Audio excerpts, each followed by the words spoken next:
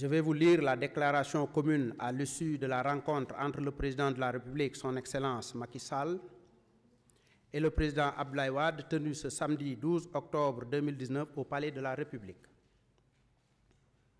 Le président de la République Macky Sall et le président Abdoulaye Wade se réjouissent de la rencontre toute empreinte de fraternité et de sérénité. Le président Macky Sall et son hôte, le président Abdoulaye Wade, ont tenu à remercier vivement le calife général des Mourides, Serigne Muntaha Bachirou Mbaké, qui les a invités tous les deux à l'inauguration de la grande mosquée Massalikul Jinan, facilitant ainsi leur rencontre en sa présence. Au cours de leur entretien, les deux autres ont fait un large tour d'horizon de la situation politique nationale, caractérisée par les questions relatives au processus électoral, au statut du chef de l'opposition, qui seront reprises dans le cadre du dialogue national.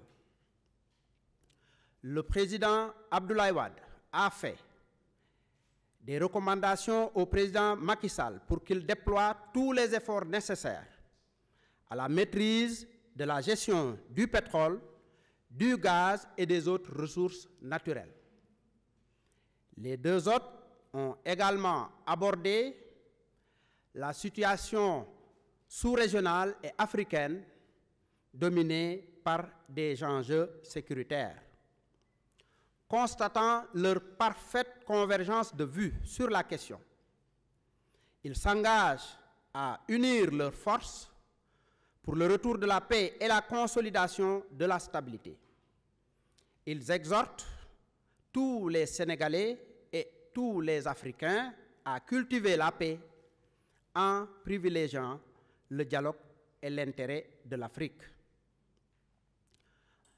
Et enfin, en se séparant, le président Macky Sall a tenu à remercier chaleureusement le président Abdoulaye Wade pour avoir accepté de se déplacer pour venir le rencontrer.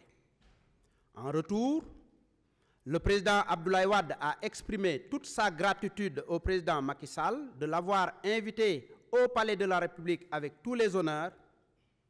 Et enfin, le président Macky Sall a promis au président Abdoulaye Wade une visite retour à son domicile à une date à convenir.